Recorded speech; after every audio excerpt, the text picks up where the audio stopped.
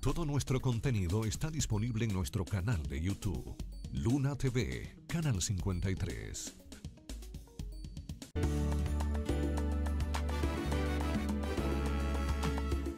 Continuamos en Buenos Días RD por Luna TV, Canal 53. Gracias por seguir con nosotros, como siempre, en vivo, hoy jueves 17 del mes de febrero por Luna TV, Canal 53. José Alfredo. El Instituto de Estabilización de Precios, INESPRE, se integrará a través de sus bodegas móviles a los operativos médicos y de fumigación que realiza la Dirección General de Desarrollo de la Comunidad en zonas vulnerables. Para tales fines, el director ejecutivo del INESPRE, Iván Hernández Guzmán, y el director general de Desarrollo de la Comunidad, el éxito Paula Liranzo, firmaron un convenio de colaboración interinstitucional en un acto realizado en el Salón Pablo Mercedes, en la sede principal del INESPRE. Buena medida esta eh, llevada a cabo por el INESPRE y la Dirección General de Desarrollo de la Comunidad que dirige el amigo el éxito Paula, que está haciendo un gran trabajo en esa institución. Bien, excelente, por lo menos se está reactivando Inespre, que, que tuvo mucho tiempo muerto, eh, lo, lo, mató, Inespre lo mató Zorrilla Osuna, eh, y van a tratar de hacer un trabajo. Estaba lento, pero qué bueno que, que ha revivido nuevamente.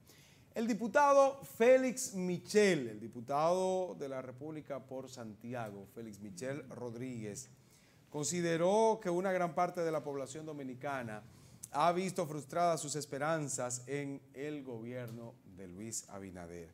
El diputado del PLD ante el, eh, ante el agravamiento de la Fuerza del Pueblo más bien, que en un momento fue del PLD, el diputado de la Fuerza del Pueblo, él dice que ante este agravamiento de su situación económica generada por la carestía de los productos de primera necesidad, a lo que se agrega también el alto índice de delincuencia e inseguridad en el país. Él dice, en verdad es una gran oportunidad para los presidentes, dice Félix Michel, ya que es una fecha histórica. En esta fecha histórica le permite eh, la oportunidad de rectificar sus malas decisiones al elegir a sus funcionarios sin que se le culpe por su mala decisión. Dice que es el momento de sustituir a los malos funcionarios. La habla para el 27 de febrero, que se anime y quite. Yo, mira, yo estoy de acuerdo con Félix Michel. Yo entiendo que hay muchos malos funcionarios, muchos malos servidores públicos que le están haciendo daño al país y por lo tanto al gobierno de Luis Abinader. Es una buena oportunidad, mira fulano, no cambiarlo como hacía Danilo y Lionel, que cambiaba, mira, te voy a poner aquí, te voy a quitar aquí para ponerte aquí te voy a poner, quito aquí, te pongo aquí. Tú eres eh, médico, pero te voy a poner en, obra pública. Tú eres eh, ingeniero, pero te voy a poner en, educación. Una locura, unas locuras que se tenían. No, es que lo quite y ya, y vete. Tú no funcionaste. Vete por ahí y resuelve y sigue trabajando en tu sector privado. Tú, tú hacías algo antes de entrar al gobierno. Entonces, sigue trabajando. Ojalá ojalá hiciera esto. Fuera un palo realmente. Hay mucha gente mala ahí. Así es, sí. No sirve. Sí, hay que quitarlos. Por otra parte, la Fiscalía de mencione Santiago... uno, diga uno que haya que quitar. De, el presidente sabe. Diga la Fiscalía uno, de Santiago recurrirá ante la Corte de Apelación de esta jurisdicción la medida de coerción consistente en prisión domiciliaria que la jueza Giverly Polanco impuso a los dos oficiales de la Policía Nacional acusados de matar a tiros a un compañero eh, suyo que está adscrito a la Dirección General de Seguridad de Tránsito Terrestre, la DGCET. ¿Y entonces? Los imputados, el teniente coronel José Ernesto de la Rosa Pérez y el segundo teniente Luis Antonio Montilla Lara, están acusados de matar al raso Alberto de la Rosa de la Cruz junto al prófugo Jonathan Rodríguez Parra. Esto fue un incidente ocurrió creo que fue en Navarrete, Villa González Navarrete, no recuerdo, donde ese policía que murió de la DGC estaba, eh, como se, le llama, vestido de civil, Porque los policías son civiles, pero no tenía el uniforme de la institución. el uniforme de la institución. Entonces, este, estaba hablando, con, conversando con una persona que supuestamente era buscada por la policía. Entonces le entraron a tiros y lo mataron. Bueno, ¿Qué le eh, parece? co- cosas. Está cosas- extraño eso ahí. Cosas como es, soy muy extraño, cosas como esta suceden.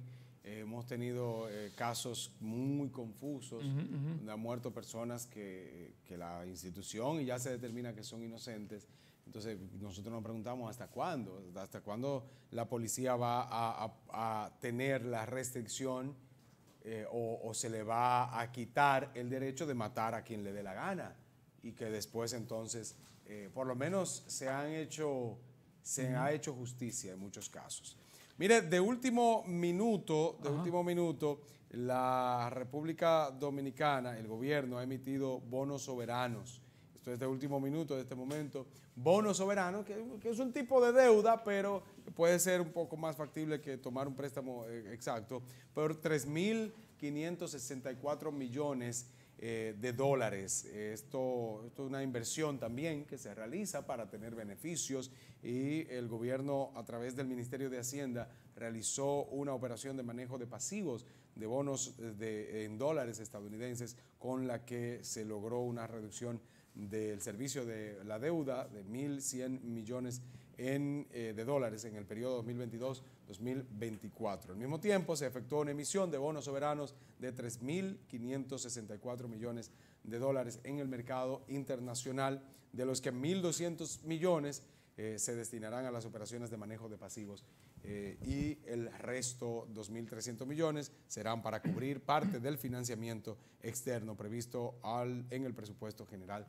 del Estado 2022. Miren, señores, hoy a las 9 de la mañana, ya en un ratito, una rueda de prensa habrá en la calle Vicente Estrella, número 5, 51 Altos, aquí en Los Pepines, entre el Núcleo de Apoyo a la Mujer y el Comité, el Comité Inter, Intersindical de la Mujer Trabajadora.